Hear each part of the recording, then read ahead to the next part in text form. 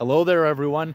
My name's Nico, and I'm coming to you from James Houlihan Park in Saanich, BC, a suburb of Victoria, British Columbia, where I live.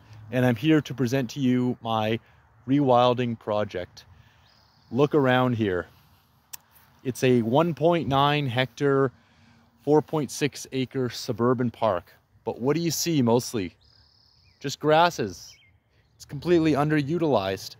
Believe it or not, this used to be a second growth Douglas fir ecosystem. You see those trees behind me there? Those are Douglas firs. This all used to be that too. You also get a bunch of other stuff here as well. You've got some western red cedars there, a hedge of western red cedars, a hedge of cherry laurels there. You've got your arbutus tree, the only broadleaf evergreen tree in Canada. It's a beautiful native tree on the Pacific Northwest. You've also got your invasive holly here as well. Ornamental Christmas kind of tree, shrub. It's a bit of a pest. And you've got your Himalayan blackberry, which is invasive. That's just a bit of the uh, plant biodiversity in this park. And look behind me here too. You get a couple of Columbian black-tailed deer as well. So as you can see, this is a more biodiverse park than you'd first imagine. But it used to be so much richer. Back in the 1870s and 1880s when it was acquired by the Houlihan family, after which the park is named. The whole area was logged to make way for a farm and orchard. And today, this is the result. So, why did I decide to focus on this setting? I decided to focus on this park because it's a very large green space that is very underutilized and not in its natural ecosystem state currently. There's immense potential here to increase local biodiversity, reestablish ecosystem functionality, and establish an ecological corridor for wildlife traveling through the surrounding areas. Wildlife such as these deer here, as well as predators that prey on them, like cougars and wolves that we have in this region. Give the cougars cover, give the deer cover, and reestablish the uh, trophic food web balance and there's several other parks around here and the ocean is just behind me there less than a kilometer away. Reestablishing this as a forest would be a great ecological connector for these uh, species that require this area.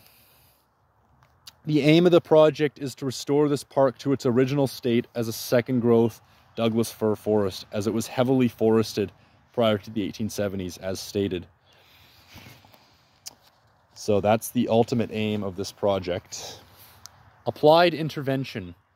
First, you stop cutting the grass, remove the few small patches of invasive species. So Himalayan blackberry, remove that uh, hedge of the cherry laurel, and there's a few other tiny invasive spots of Scotch broom and a couple of other species. So you remove those restore the native grasses and plants. And uh, the next step after that is to plant, tree plant Douglas fir seedlings and monitor and assess the seedlings and young trees in the park to ensure they are surviving and thriving. Within a decade, a new growth Douglas fir ecosystem and all the associated benefits will reemerge, bringing this park back to its former glory as a forest. Steps needed. Step one, discuss plan with local community members as well as with members of the public and educate them about the benefits of this rewilding project and urban rewilding in general. You also want to talk to Saanich Parks and Recreation who own this land to submit a rewilding proposal and gain input on how such a project might work. Step two, conduct a site survey. Step three, work with Saanich Parks to begin steps of rewilding if granted approval.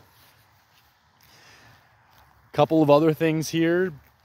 This park has uh, podzol soil. It's called P-O-D-Z-O-L. This is acidic forest type soil that is common on the Pacific Northwest and in the coastal temperate forests. True forested type of soil, which is very conducive to restoring this ecosystem. Um, as for water bodies, there's no creeks or rivers or lakes nearby, but there is the ocean half a kilometer away. And you might get temporary vernal pools here during the high rainy season. There's none currently, but it could get a little bit uh, swampy, tiny bit. Air quality is fantastic. I looked the other day and it's at a two, which is very low risk, low rating of air quality uh, or pollution. Even in the bigger cities like Vancouver, pollution is generally pretty low on the west coast here, and it's fantastic in Victoria. But restoring this uh, park to a Douglas fir ecosystem would even would increase air quality even more, absorbing carbon dioxide from the vehicles that are passing by and cooling the temperature a little bit, making it cooler and uh, absorbing CO2. This is benefits to the climate as well as benefits to wildlife. There's another animal there. I don't know if you can see in the picture. There's a squirrel that just popped onto that fence there. Oh yeah, there he is, passing by me here. It's amazing the wildlife you'll see just from hanging out in a park for a little bit. But imagine how much better it could be in the original coastal Douglas fir ecosystem, of which less than 1% remains intact on Vancouver Island. Think about that. It's just crazy. I hope this project works out and I'll be talking and interviewing locals in the area, residents, as well as talking to Saanich Parks and Recreation to get the ball rolling here. I hope I've educated you a little bit about the magnificent part of the world I live in and the coastal Douglas fir ecosystem and why it's so important to rewild and conserve spaces such as this.